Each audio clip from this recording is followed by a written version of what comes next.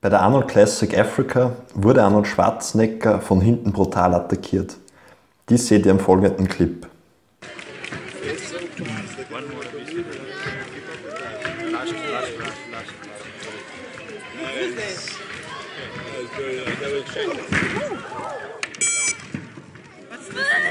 No, no, no, no.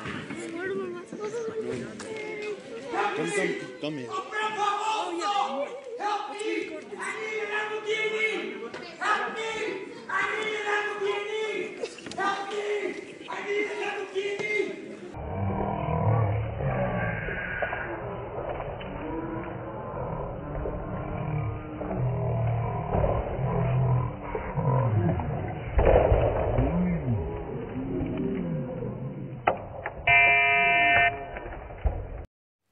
Wenige Zeit später nach dem Vorfall gab Arnold Schwarzenegger zum Glück bekannt, dass es ihm gesundheitlich gut gehe und dass er den Kick gar nicht erst bemerkt habe.